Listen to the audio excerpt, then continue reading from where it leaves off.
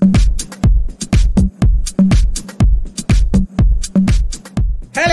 welcome, it's Al. It is Thursday, May 28th, 2020. Thank you for watching today's video. I'm going to do today's tarot card for you, so let's see what today's tarot is going to tell us. And today's tarot card is the Knight of Swords.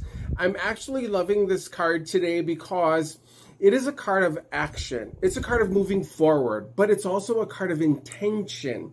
Meaning, this Knight of Swords with that happy little smile on her face, she's purposefully thinking about her actions moving forward. She's purposefully communicating those actions to the people who surround her. That could be for a, a moment of accountability uh, that could be so that way people just understand what her process is going to be.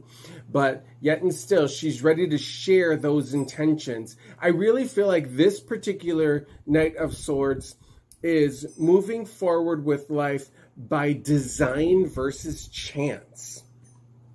And that's because of the intention behind what the action is here. So think about that for yourself today. What are you purposefully doing to move yourself forward? What are you purposefully communicating to get your point across? How are you actually finding happy mode in the course of your projects or your progress?